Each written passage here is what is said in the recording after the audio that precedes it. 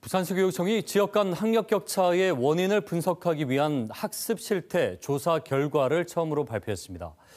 교육청은 올해 당장 추가 경정 예산을 확보해 격차 해소를 위한 정책을 추진하기로 했습니다. 보도에 최재훈 기자입니다. 부산교육정책연구소가 지난해 11월 발표한 지역 간 학력 격차 분석 보고서에 따르면 서부상권 학생이 동부상권 학생보다 학업 성취도가 낮은 것으로 나타났습니다. 초등학생과 중학생 집단을 선정해 2016년부터 2020년까지 지속해서 분석한 결과입니다. 특히 수학은 학업 성취도 격차가 초등학교 5학년 때부터 중학교 1학년 때까지 지속해서 커졌습니다. 중학생 집단도 중학교 1학년 때부터 고등학교 1학년까지 학력 격차가 2배 이상 벌어지는 것으로 조사됐습니다. 부산시 교육청은 이 같은 문제를 해결하기 위해 지난달 부산 지역 156개 학교를 대상으로 설문조사를 해 응답자 3,100여 명의 자료를 분석해 공개했습니다.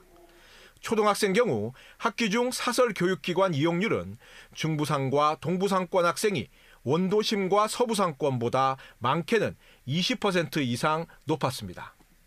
반면 학기 중 방과 후 학교 이용률은 서부산과 원도심이 동부산과 중부산보다 2배 이상이었습니다.